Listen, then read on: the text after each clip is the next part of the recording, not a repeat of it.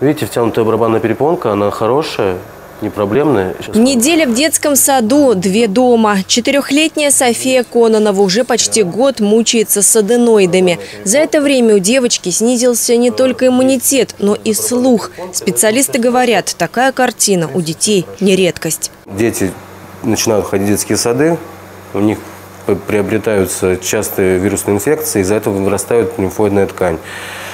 А, Уши очень плохо реагируют на это, дети очень ча- часто болеют, иммунный статус падает у детей, да, появляются аллергические какие-то моменты. И в таком случае особенно важно в кратчайшие сроки выявить причину заболевания. Раньше для постановки диагноза нередко приходилось ездить в Москву. Теперь современное оборудование есть и в Одинцово. В детской поликлинике открылся консультационно-диагностический кабинет. Данный кабинет оснащен э, эндоскопической стойкой, то есть э, демонстра- мы можем продемонстрировать родителям, в чем заключается основная проблема. Пациенты у меня уже наблюдались в Москве, э, и то есть, ну, можно не на словах сказать маме, да, то, что у вас одной третьей степени, вам необходимо оперативное вмешательство, а продемонстрировать маме, Вести прием в консультационно-диагностическом кабинете будут посменно три специалиста. Их пациенты хронические больные от одного месяца до 18 лет. А вот делать операции, в том числе экстренные, планируют в Перхушково. Там откроется полноценное лор-отделение. Он будет располагать